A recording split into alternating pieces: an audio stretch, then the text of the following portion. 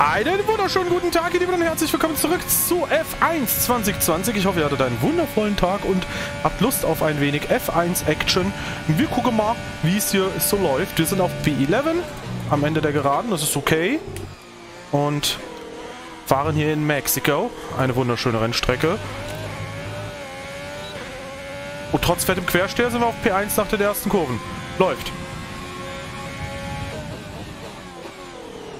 Knapp hinter Valtteri Bottas.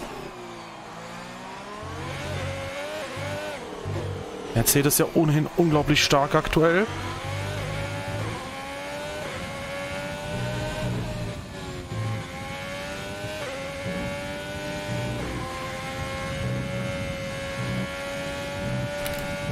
Oha! Läuft! What? Ich bin auf P1. Ich mag Mexiko einfach. Wahrscheinlich auch ein cooles Land, aber beziehe mich primär auf die Rennstrecke. Trotzdem Mexiko. Unglaublich geil! Ah, Quersteher. B1! B1, Dave! B1! Yes, you did it! Geil. Sebastian Vettel ist auf Platz 5 und ein Racing Point auf der 6. Und auf der 12, hä? Äh, Red Bull auf 4 und 8. Irgendwie alles ein bisschen durcheinander gewirbelt. Ganz vorne weit Teddy Bottas. 10 Punkte von Lewis Hamilton. Wir haben keine Chance mehr auf den WM-Titel. Es sind nur noch drei Rennen, aber pff, hätte ich jetzt nicht wirklich auch erwartet, da ohne WM-Titel mitkämpfen zu können. Stattdessen würde ich P3 sichern und wenn Sepp Vierter wäre, wäre das nochmal ein Bonus. Wir haben 444 Punkte in der KWM. Aktuell recht sicher vor Red Bull. Und mal gucken, ob Hamilton seinen Vorsprung heute ausbauen kann oder nicht. So Leute, auf geht's. Wir haben insgesamt 18 Runden, glaube ich. Das schaffen wir hoffentlich auf ein gutes.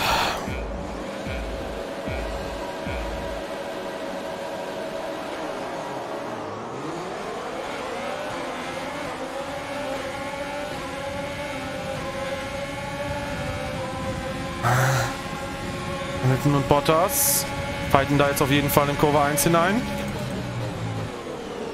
Und around the outside goes Dave Gaming. Schön außen Platz lassen viel. What? Alter. Okay, das ist eine dezente Führung gerade hier. Ein dezenter Vorsprung. Läuft. Das kann gerne so weitergehen.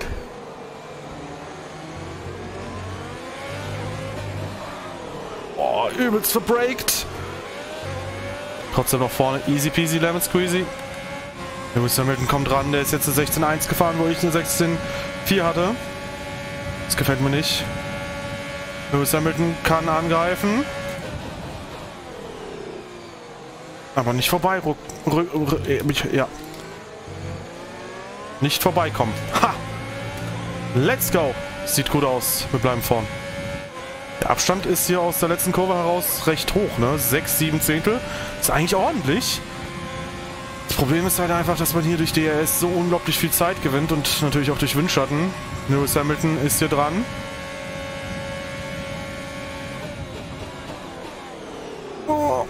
Kann der jetzt außen sich schön breit machen.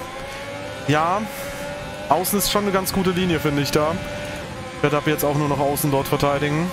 Und äh, ja, wir werden jetzt erstmal an Lewis Hamilton dranbleiben. Hoffentlich. Und dann, das war zu viel Körb, äh, und dann hoffentlich die Batterie ein bisschen voll laufen lassen und wieder zurück überholen können. Mal schauen. Am Ende dieser Runde ist der Boxenstopp angesagt, deswegen überlege ich gerade, was wir eventuell noch in dieser Runde machen.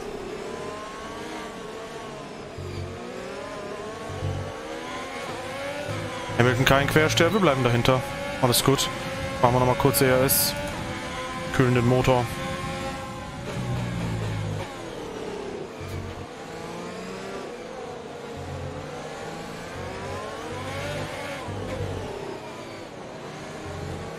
Wir kommen im zweiten Sektor gut ran, ne?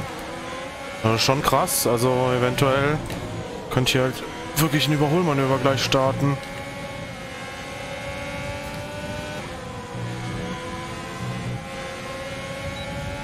Bottas verliert auf jeden Fall gerade schon mal wieder ein bisschen Zeit. Er hält sich gerade so im Sekundenfenster. Aber wenn es jetzt an die Box geht, wären wir auf P19. Wir machen's. Wir gehen in diese Runde rein.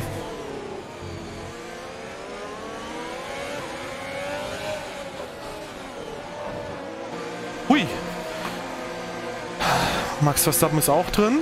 Carlos Sainz ebenfalls. Sergio Perez ist draußen geblieben, interessant. Na, komm! Oh, das hat alles so lange gedauert. Okay, jetzt ist Hamilton, glaube ich, noch einen Ticken weiter weg. Vielleicht habe ich Glück und der läuft noch auf Latifi oder Russell ist es auf. Na, mal schauen. Oh, ist auf jeden Fall schon ein ordentlicher Abstand jetzt. Boah, Junge, das tut weh. Zwei Sekunden. Hm.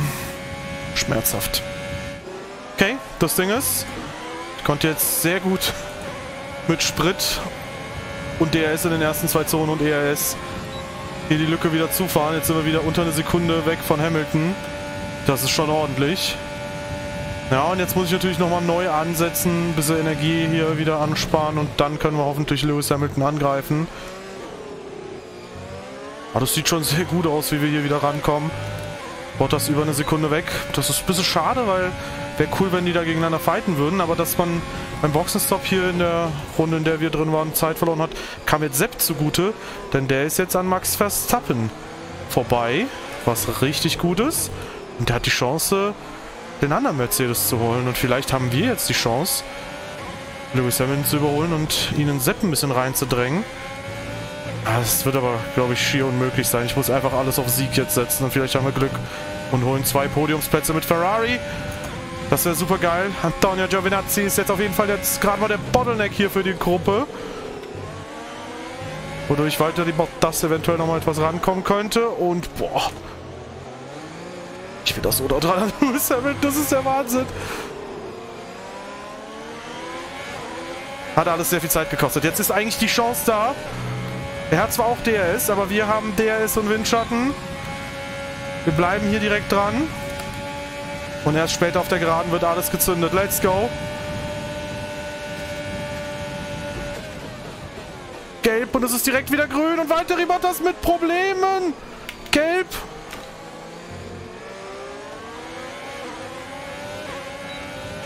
Ich habe keine Ahnung, wie ich es jetzt regeltechnisch hätte handhaben dürfen oder nicht, aber ich bleibe einfach mal dahinter. Wir haben auf jeden Fall Lewis Hamilton viel Zeit gekostet und damit ist Sebastian Vettel wieder dran. Ich spreche es bewusst mal so aus, wie es die britischen Kommentatoren anfangs immer wieder getan haben, weil ich es irgendwie ganz lustig finde. Ja, Lewis Hamilton wird in der nächsten Runde auf jeden Fall kein DRS mehr haben. Das wird ein bisschen easier dann, hier vorbeizukommen. Oh, Lewis Hamilton zieht da für einen Moment nochmal weg. Halbe Sekunde Abstand. Auf geht's. Die Chance ist da. Drei Zehntel, zwei Zehntel.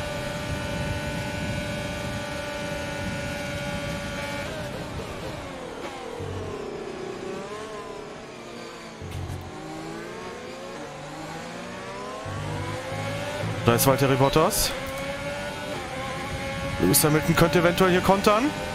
Kann er nicht. Wir schicken ihn nach außen. Sebastian Vettel auch direkt dran. Ich habe auch so ein bisschen die Hoffnung gehabt, dass Sebastian Vettel damit durchrutscht. Deswegen habe ich mich da so ein bisschen sehr breit gemacht gegen Hamilton. Und Lewis Hamilton verliert jetzt hier Zeit beim Exit. Jetzt muss ich alles geben, um über eine Sekunde wegzukommen. Let's go. Er hat zwar hier DRS. Aber vielleicht, wenn ich hier ERS gut einsetze, ja, dann könnten wir ihn aus dem Sekundenfenster rauskicken. Und dann hätte Sebastian Vettel die Chance, auf P2 zu landen. Der Ferrari Masterplan. Er könnte aufgehen. Oh. Ah! Egal, wir sind über eine Sekunde weg gewesen von Hamilton. Sebastian Vettel jetzt mit der Chance, Lewis Hamilton hier anzugreifen. Auf der langen Geraden, eine halbe Sekunde Abstand zwischen den beiden. Kann Sebastian Vettel hier vorbeiziehen oder nicht? Das ist natürlich jetzt die Frage. Er kommt nur bedingt näher Lewis Hamilton, aber auch nur bedingt näher ran an mich. Motortemperatur sieht extrem gut aus. Keine Probleme an der Front. Und jetzt ist Sepp dran. 13 Sekunden der Abstand zu Lewis Hamilton. Die Chance ist da. Ferrari 1-2, das wäre ein absolutes Highlight. Nee, noch nicht. Aber vielleicht gleich. Mal schauen. Muss auf jeden Fall wieder viel Power nutzen, um hier wegzukommen. Hamilton darf kein DRS haben. Oh Mann, ich... Boah, das untersteuert aber auch mittlerweile wieder ein bisschen. Dabei haben wir nicht mal wirklich viel Abrieb auf den Reifen. Mann. Lewis Hamilton jetzt mit der Chance wiederum, sich hier die Führung zurückzuholen. Ich komme weit raus. Nee. Das kann er nicht in die Tat umsetzen. Sebastian Vettel könnte jetzt in den Windschatten. Entscheidet sich dagegen. Boah.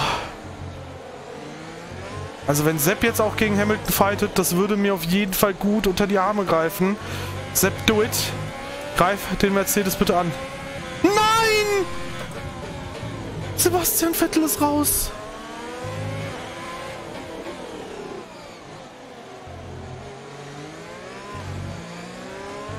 Nein.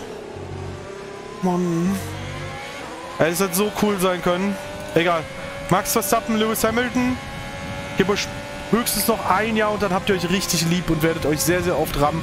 Fangt doch jetzt damit an. Okay, wollen sie nicht. Schade. Sebastian hat ein Problem, er ist aus dem Rennen. Ja, I know.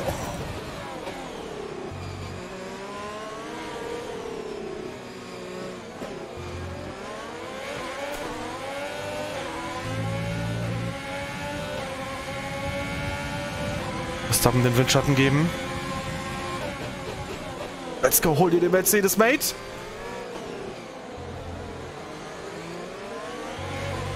Oh my goodness. Das kann klappen, die beiden fighten gegeneinander. Oh, und Lewis Hamilton kommt da zwar noch durch und ist noch auf P2, aber hat hier Zeit verloren. Definitiv. Wäre auf jeden Fall cool, wenn wir hier weiterhin vorne bleiben und die beiden weiterhin fighten. Das wäre absolut OP. Letzte Überholchance für Lewis Hamilton wird nicht fruchten, denn der Mercedes ist viel zu weit weg. 7 Zehntel, 5 Zehntel, beides Abstände, aus denen er nicht nochmal angreifen kann. Und damit sind wir durch. Leute, 25 Punkte! Und es hätten 43 sein können. Schade. Lewis Hamilton übernimmt damit die WM-Führung. Zwei Rennen vor Schluss. Boah.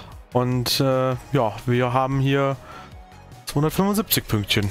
Läuft. Leider hat Sepp nicht ganz 200 wegen DNF. Naja, macht man nichts. Aber 469 auf dem Punktekonto heißt, wir haben 81 Punkte Vorsprung vor den letzten zwei Rennen. Heißt, 88 Punkte können maximal geholt werden, 8 Punkte noch holen und wir sind safe vor Red Bull. Werte Damen und Herren, ich hoffe, ihr hattet viel Spaß bei dieser Episode mit F1 2020. Wenn du so ist, das gerne auch nach oben, gerne aber raushauen. Beim nächsten würde dabei sein. Und falls ihr euch wundert, hey, warum nur ein 25% Rennen? Es war unfassbar viel los. Und wir testen auch mal, wie es denn so ankommt, wenn man ein 25% Rennen in der Folge hat. Tschüss, bis demnächst und viel Spaß mit den Replay-Bildern.